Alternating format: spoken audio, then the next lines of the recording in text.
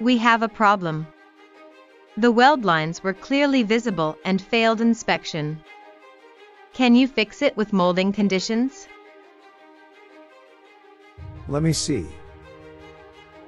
Surely it is here. That's right. For now, let's increase the injection speed and pressure. Why would you change those? A. I wonder why I was asked why again. Hmm. What is troubling you? We are trying to eliminate this weld line. At first, I changed the injection speed and pressure. However, I was having trouble explaining the reason for this. It's not a bad method, so let me explain as we mold it. Thank, Thank you. Weld lines are formed where resin flows diverge in the mold and then merge again. When the flow front of merging resins do not mix well, weld lines appear on the product.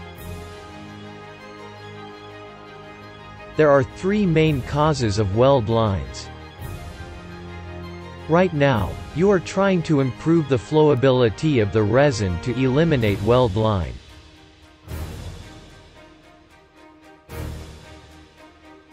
Sometimes weld lines don't disappear completely. What will it be this time? It looks a little thinner. Good for you.